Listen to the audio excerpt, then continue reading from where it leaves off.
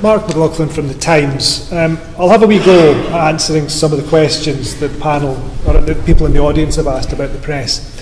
If a consensus emerges around an issue, you will get buy-in from the press.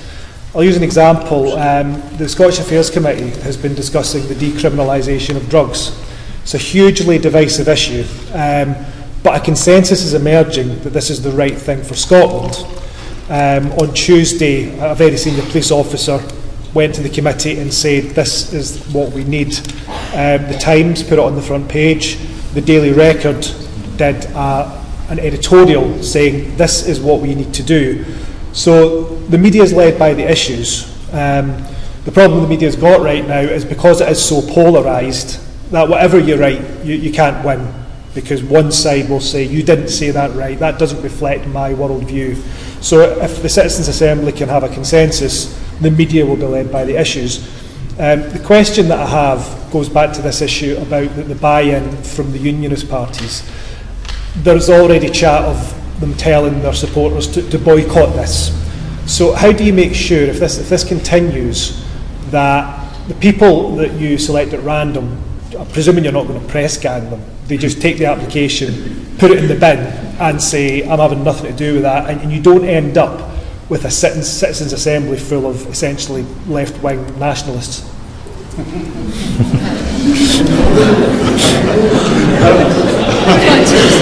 for the oh, yeah. Um, well, the left wing part I might be comfortable with. It's, you know, we, I mean, the, the, the selection process will be very careful, but the, the point you make is an interesting one. It's one we, and again, wouldn't necessarily be my decision because we want to be hands off to make sure it is a random selected group of people. But there is, has been a debate about whether you ask people for their political views. But that has a danger um, because you don't want to, in that sense, you want a cross section of Scottish society, but you don't want to replicate the political divisions in Scottish society. Um, so, how do you do the two things at once?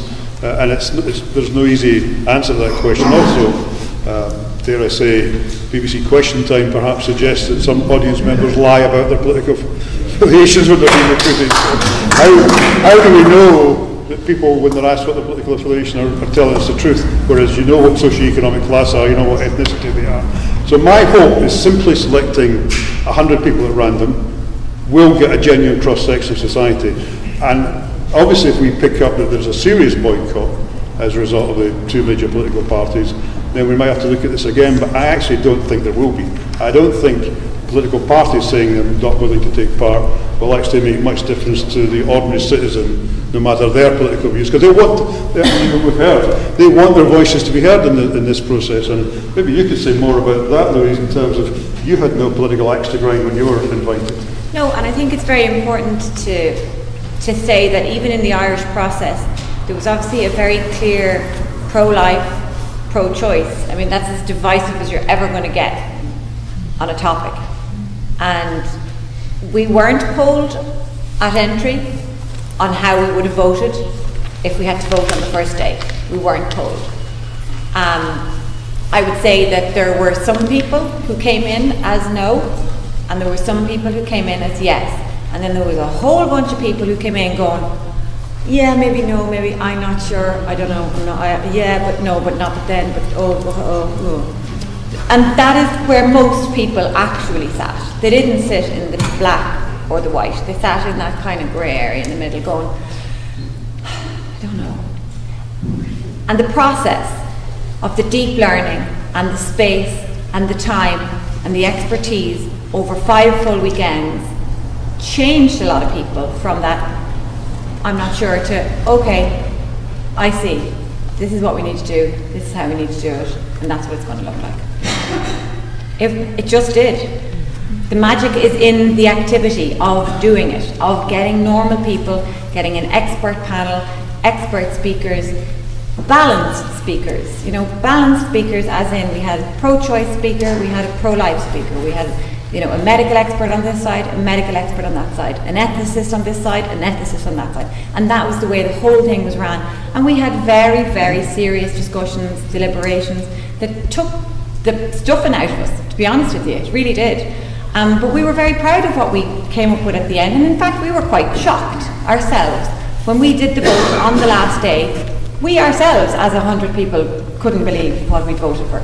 Because we weren't sitting around going, well, I'm voting yes for that, I'm voting no for that. We were still asking questions right up to the last minute. We, people assume that a citizens' assembly is a talking shop of people just talking at each other.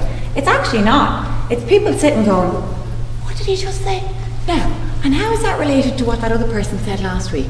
And what? And if we put that and that together, then what does that mean? Oh, oh that. Two, nobody's joining those two things together. Why is nobody talking about that? Okay, we need to write that down. And do, do, you know? Do you understand what I mean? So, so it is people who may have strong views either way, but are open to discussing and open to those views changing. Some dramatically, some just a little bit.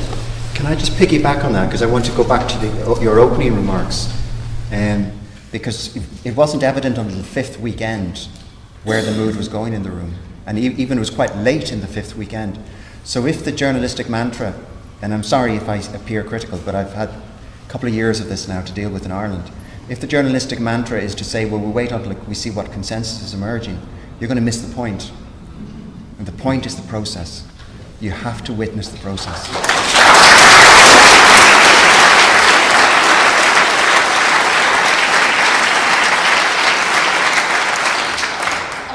sometimes